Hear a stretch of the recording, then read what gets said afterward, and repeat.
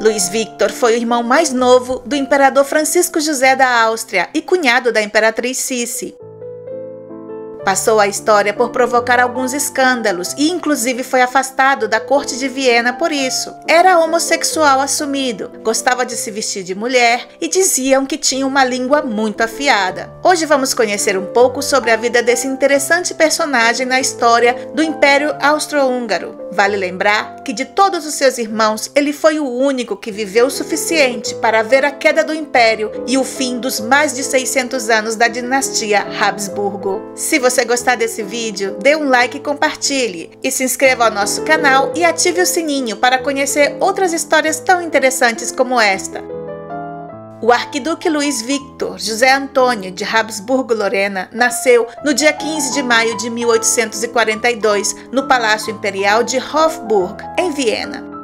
Foi o filho mais novo do arquiduque Francisco Carlos e da sua esposa, a arquiduquesa Sofia. Dois anos antes do seu nascimento, Sofia, sua mãe, que já tinha três filhos varões, passou pela tragédia de perder a sua única menina, Mariana, de quatro anos, que morreu de epilepsia. Sendo assim, ela desejou ardentemente o nascimento de uma nova filha, mas o seu desejo foi frustrado com o nascimento de Luiz Victor. Ainda assim, sendo o caçula, recebeu muitos mimos e a atenção de toda a família, que carinhosamente o chamava de Bubi. Os seus três irmãos mais velhos, Francisco José, Maximiliano e Carlos Luiz, cresceram muito próximos e muito amigos. Porém, com Luiz Victor não havia essa mesma relação, já que havia uma diferença mínima de nove anos entre ele e os seus irmãos, e também porque Luiz Victor tinha hobbies e costumes que não eram muito parecidos com os deles. Como era tradição entre os arquiduques austríacos, Luiz Victor também entrou na carreira militar como general da infantaria e liderou um regimento que levava o seu nome.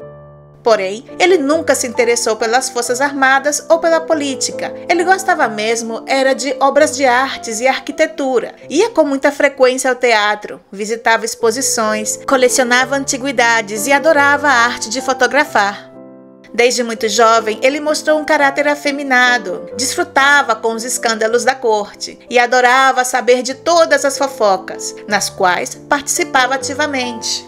Ele chegou a ter várias tretas com a imperatriz Cici, justamente por causa dessas fofocas que ele espalhava, o que afetou negativamente a relação entre os cunhados.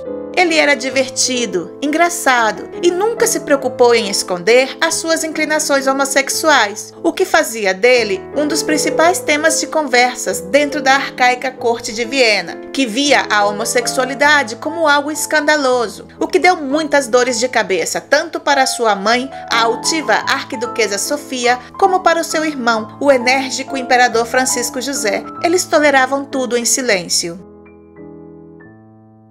Luiz Victor gostava de se vestir de mulher e depois se fotografava com todo tipo de miçangas e acessórios femininos, o que o levou a ser conhecido de forma pejorativa como Lutzi Wutzi.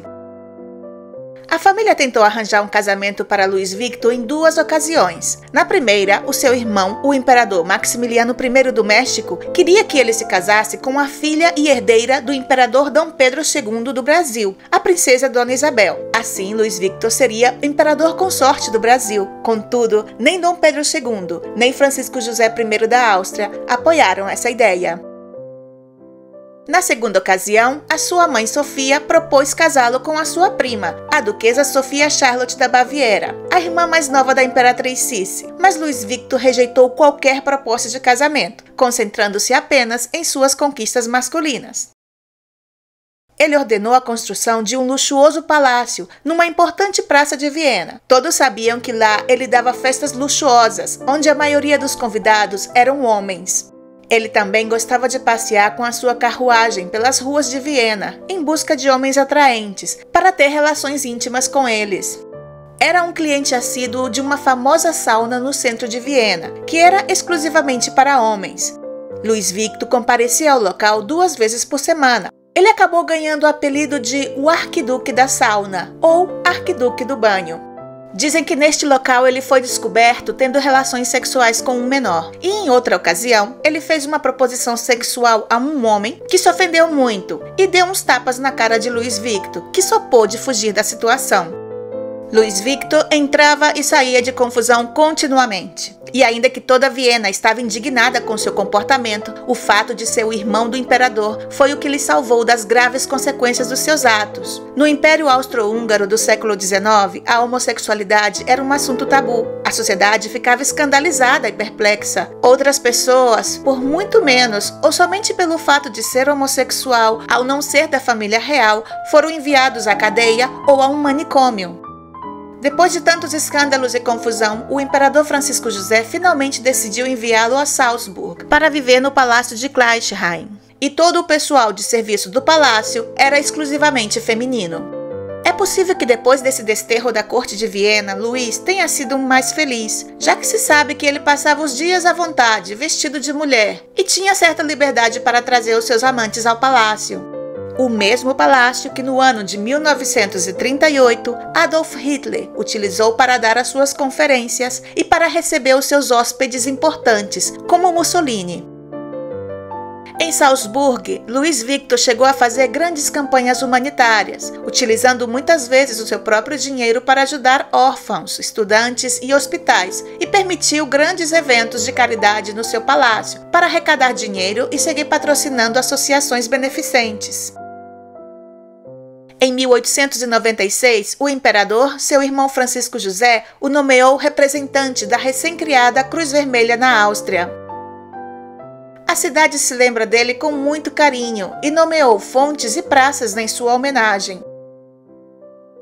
E apesar de que ninguém esperava, após o assassinato da sua cunhada, a imperatriz Cici, em setembro de 1898, Luiz Victor foi o diretor da comissão que se encarregou de nomear um bairro da cidade em homenagem a ela. E também foi ele que escolheu um belo monumento em homenagem à imperatriz na cidade. Durante seus últimos anos de vida, mostrou um forte desequilíbrio mental que fez com que o arquiduque vivesse recluído no seu palácio até a sua morte, em 18 de janeiro de 1919, aos 76 anos de idade.